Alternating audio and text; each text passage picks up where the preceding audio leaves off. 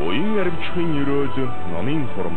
Аврын дэргүүн сарын шиний намны бэлэгт цангийн нэгдүр үйлдсэн буян бүхэн төм төмөөрөө үржиж далай мэд аривчхын өрөөлтэй. Элүүдрийн арга хэмжээнд жаншив дичинзэн хийдийн дам хургууд усан могоо жилийн засал болох лүүжин даш червин сан алтан гэрлийн далдар сундуу 8 гигэн тэргүүтэй 21 тонны номын дээдийг уншиж ирж байгаа жилийн буян гიშгийг доктор Саран даваа тэргүүнтэй Монгол авра төвийн зурхаач нар сүсгтэн олонд хураалах болно.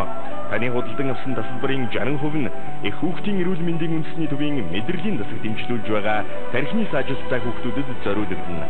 Буян аривчхын өрөөл номын хурам